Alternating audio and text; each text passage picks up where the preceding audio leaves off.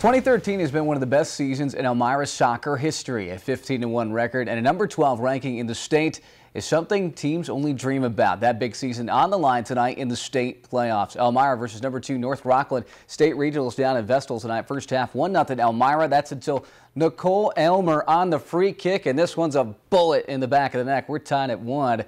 The Rock keeps pushing. Naya Rivera on the breakaway has a chance here, but look at the save by Elmira goalie Taylor White. What an effort right there.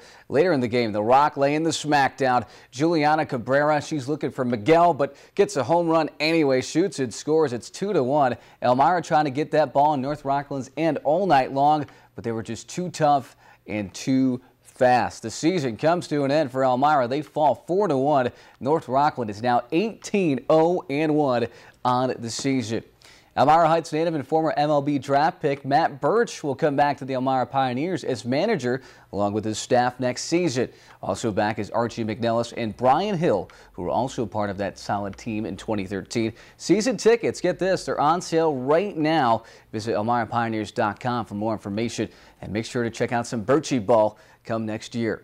Well, sticking with the colleges, Elmira men's hockey player Jared Ten Van Holt is the ECAC West Player of the Week. The sophomore from Vancouver registered two goals and two assists over the weekend. Soaring Eagles are 1-1 on the season, and they travel to Utica on Friday night.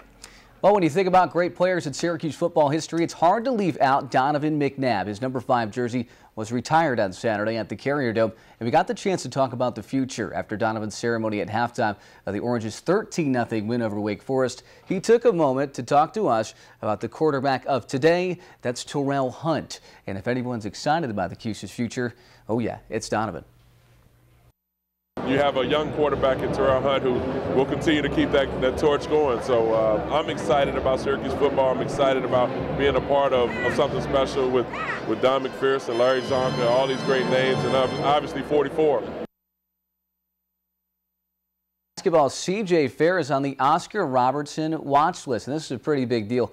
Fair's one of 15 players in the country for that award, which honors the nation's top Division One player.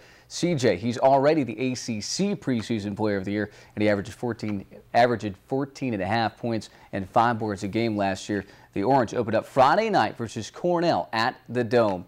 And we've got to give a shout out to WENY TV sports intern Taylor State on her first day with us here at the studio. And this is Taylor in a softball picture with her dad from last summer. Keep up the great work and chase down that dream. Taylor, great person. Great having her in here today. Always nice to uh, actually a Horseheads person as well, so I, I love that connection as well. Yeah, that's great. I didn't know she was an intern. Yeah, well, she's shadow for the day, but officially intern, we'll put on it. All right. You know, also a big Harry Potter fan. Don't mean to break the code a little bit, but Harry Potter's great.